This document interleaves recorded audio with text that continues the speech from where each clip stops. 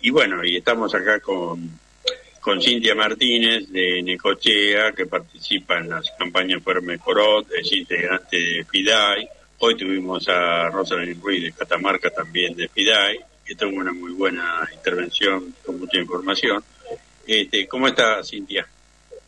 Hola Santiago, buenas tardes. Saludos a toda la audiencia de Radio Rebelde y a todo el equipo de, de Olivos y Piedras. Un gusto estar aquí. Bien, ¿te gustó el tema, eh, el tema último? lindo tema y, es un, de algo muy simbólico, ¿no? Claro, es un clásico, es un clásico y también el primero lo escuché, me encantó. Sí, sí. Este, bueno, acá tratamos de meter algo árabe, pero también bastante en español, porque si no hay que explicar el contenido para que la gente entienda la letra, que es la idea, porque las letras generalmente son valiosas. Este, por ahí Daniel encarga más de investigar este, las traducciones y eso. Este, bueno, Cintia, este, hay una actividad en la que tenés participación, creo que el 15 de noviembre, el viernes.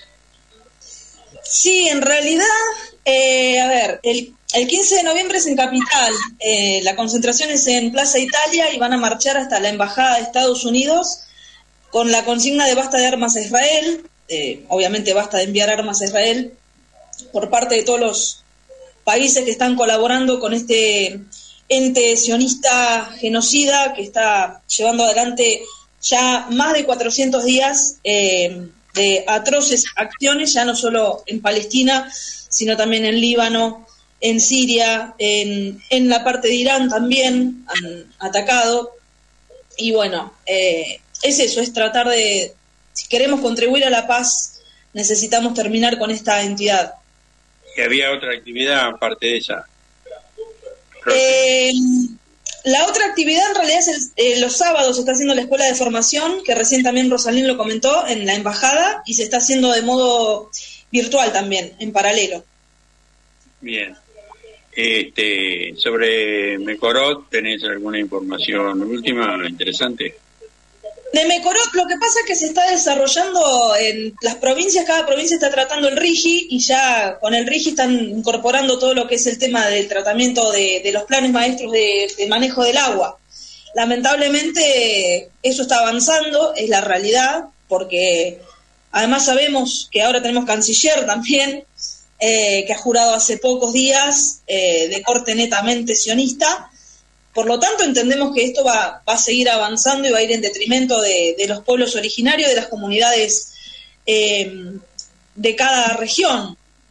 Esto lamentablemente no va a ir para atrás, pero también es verdad que en paralelo están fortaleciéndose las asambleas populares que están resistiendo a, estos proyectos eh, y que están denunciándolo constantemente. Hoy leíamos un artículo de la vicegobernadora de Mendoza donde alienta el desarrollo de, de estas tecnologías para la construcción de sistemas de agua, eh, con falsas excusas y hablando de, mm, oponerse a todo lo que implique eh, un retroceso o a, soluciones mágicas, pero en realidad lo que están haciendo siempre es eh, convertirse en pequeñas colonias de estas entidades que tienen negocios y que vienen a lucrar con el derecho básico elemental como es el acceso al agua. La otra vez escuchaba a un compañero de la campaña diciendo que eh, no es de extrañarse porque ya lo han hecho en Palestina, por eso siempre hay que estar atentos al antecedente de la empresa Mecorot, cómo ellos eh, generan una tarjeta magnética que después eh, la persona que la tenga puede tomar agua y la persona que no, no. si ellos implementan el mismo sistema que en Palestina, muy pronto, y, y tengo entendido que en Salta ya pasó de gente que está directamente perdiendo el agua y teniendo que comprar. porque lo que ellos hacen es todos los lugares naturales de donde está el agua, es intervenirla y modificar o la dirección o eh, de alguna manera eh, hacer que el agua sea solamente para determinados fines lucrativos. Entonces después para la comunidad también termina siendo eh, un bien de acceso por plata y no por una cuestión de derecho básico y natural como tiene que ser. Bien, este, vos mencionaste hace un, dos o tres minutos este, al nuevo canciller Berten, que del grupo Berten, un grupo muy poderoso en comunicaciones, bueno, es un amplio espectro. Y también fueron dueños de una red telefónica. pero después hay otros dos que no figuran tan públicamente, este, pero que tienen un gran poder en este gobierno y en la cuestión económica argentina. Son Elstein y Milny. Este, y este, y bueno, Elstein también con la cuestión inmobiliaria y fue el alojador de, de pre-gobierno y un rato también post en su hotel Libertador de, del presidente Milei. Este, ¿Cómo ves? Y también, bueno, no sé el origen, pero me suena que también es israelí, este, Reidel, este, que puede ser el futuro embajador en Estados Unidos, que eh, para esta estructura, para cualquiera, pero para esta en particular, en la embajada de Estados Unidos es casi como ser canciller. Sí, eh, a ver, yo realmente no puedo vaticinar a futuro qué va a pasar con el gobierno de Donald Trump, que ganó recientemente las elecciones, si va a priorizar o no. Yo calculo que sí, que la política exterior no va a cambiar, eh, porque como bien lo dicen muchos analistas políticos, eh, ganar a quien ganara, igualmente el genocidio en Gaza iba a continuar. Eh, y creo que la política exterior siempre va a ser la misma, va a ser de, priorizar sus intereses por encima de los intereses globales, obviamente en detrimento también de, este nuevo bloque multipolar de los BRICS.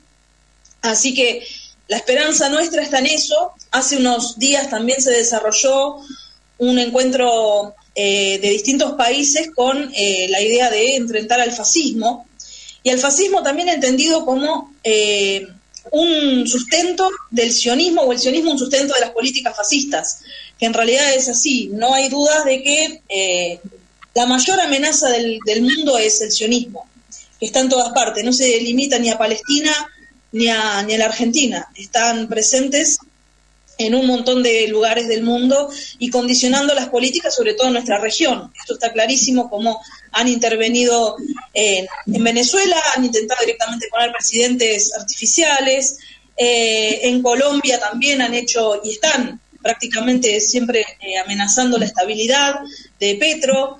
Em, en Brasil cuando estuvo Bolsonaro, bueno, tienen distintos apéndices y están en todas partes y este bloque que se conforma ahora me parece súper interesante y escuchar, si tienen la posibilidad de escuchar las palabras de Delcy, eh, la vicepresidenta de Venezuela, Delcy Rodríguez, eh, estaría buenísimo porque literalmente nos abre la cabeza, nos pone en el lugar en el que nos tiene que poner justamente de eh, este foro parlamentario mundial contra el fascismo, es sintético, son 22 minutos, pero es súper esclarecedora la mirada, los conceptos y por supuesto eh, el reconocimiento siempre a los pueblos de Cuba, de Rusia, de Palestina, de Nicaragua, eh, de Venezuela, por supuesto, eh, siempre enfrentándose a, las políticas imperiales que asfixian con sus bloqueos y que también son otra forma de bombardear los países y de postergar el futuro, el desarrollo de esas comunidades. Sí, también yo incorporaría con sus peculiaridades porque tiene muchos problemas a que atender al mismo tiempo eh, al gobierno de, Petro y porque con respecto a Palestina siempre fue muy claro en varias cuestiones, no solamente en lo declarativo. Este, bueno, me parece que Colombia también es digno de mencionar su, su apoyo al pueblo palestino.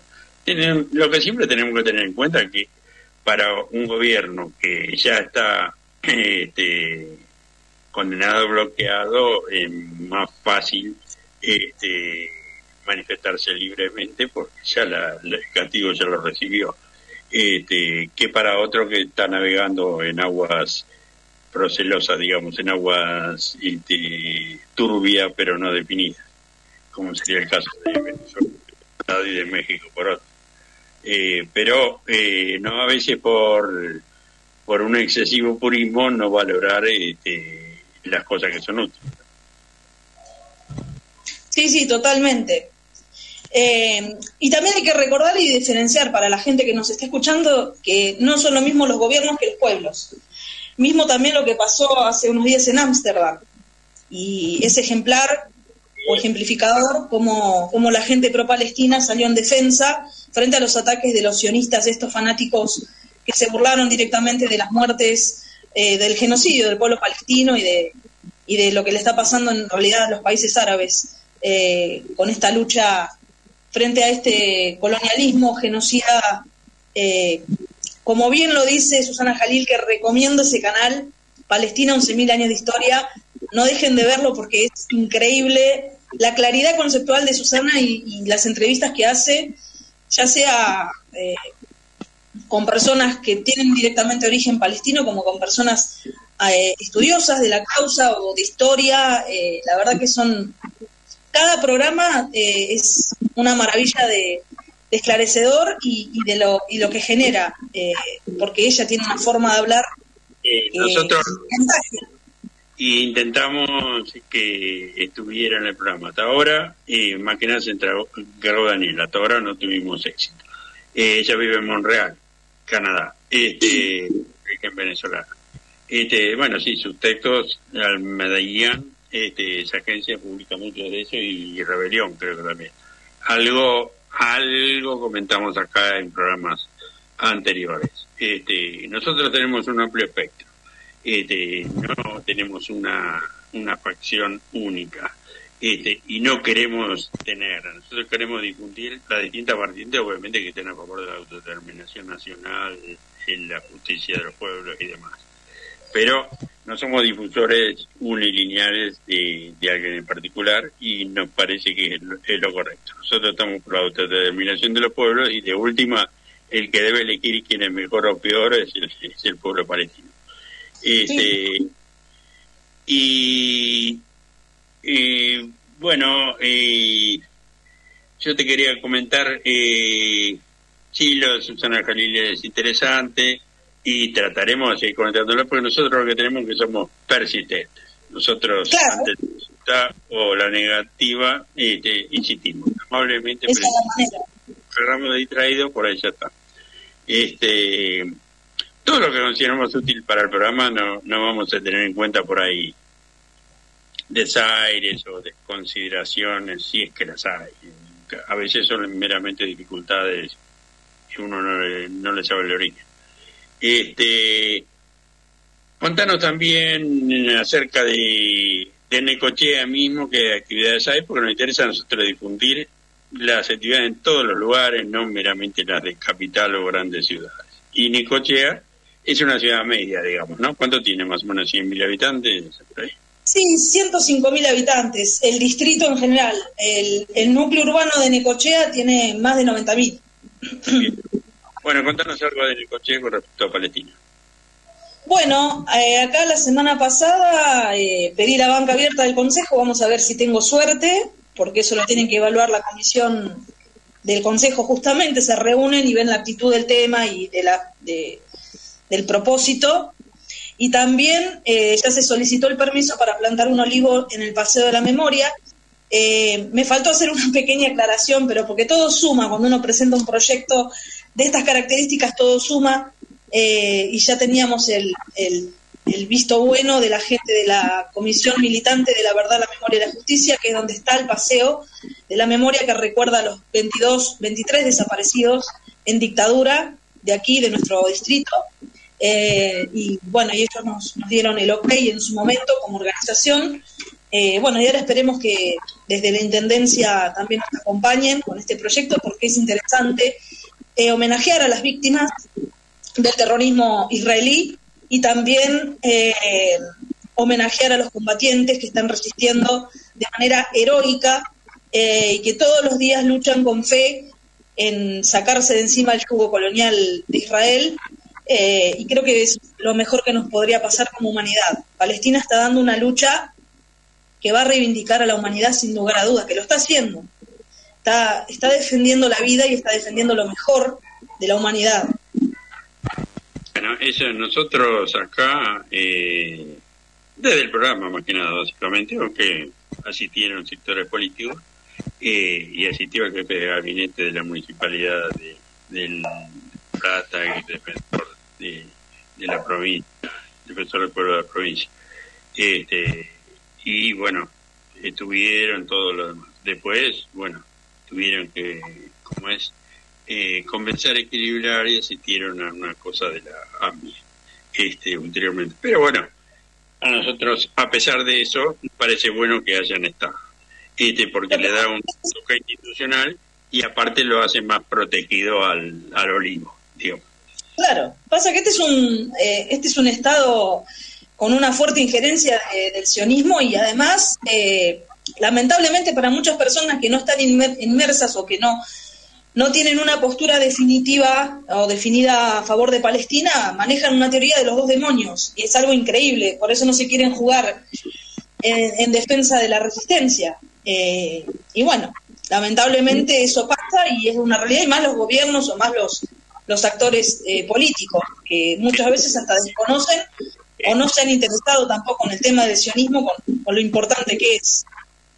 La Municipalidad de La Plata, el que la encabeza, es, no voy a hacer un panegírico, pero simplemente voy a decir que es descendiente de sirios, eh, no se opuso, este, que manifestó que la fiesta árabe si se hacía este año, que después se prolongó para el año que viene, va a Es decir, no es, eh, al menos, sionista no es. Ahora, tampoco diría, al menos en forma manifiesta y explícita, que es antisionista. Este, pero, bueno, es para un aclaratorio, ¿no? sionista cabal no es. Este, no permite serlo. No sé cómo será la, la realidad de Necochea. Este, ¿Quién gobierna? Eh, acá gobierna un supuesto vecinalismo, bastante pseudo vecinalismo, podríamos decir, que se alinea con todos los colores políticos. El intendente viene de, un riñón de lo que se llamaba el peronismo del Momo Venegas y después surge eh, después se alineó a Macri, después se alineó un poco a Alberto Fernández ahí tibiamente y ahora está muy cerca del gobernador, pero bueno, obviamente entendamos un poco que se trata de defender supuestamente los intereses de, del distrito de Necochea, pero bueno, políticamente y de color político no, no tiene mucho. Y por otro lado, cuando pasó lo del 7 de octubre, inmediatamente eh, salió a, a repudiar el ataque del terrorismo de Hamas, para tener una idea. Bueno, Cintia, llegamos al fin del programa, te agradecemos una vez más. Y bueno, estarás contenta como participante de FIDE, que ya hay cuatro integrantes de FIDE que han participado. Eh, Muchas gracias. Conocer a alguien interesante como la chica de hoy, hasta ahora los cuatro valen la pena. Así que si conoces más gente en otras provincias, porque de capital a la provincia de Buenos Aires ya tenemos, eh, de, de otras provincias nos interesaría darles eh, espacio. Uno. Bueno, terminamos el programa 59 de, eh, de Olivos y Piedras. El programa 60 será el viernes 15 de noviembre. Gracias, Cintia. Gracias. Chao, chao. Gracias, audiencia.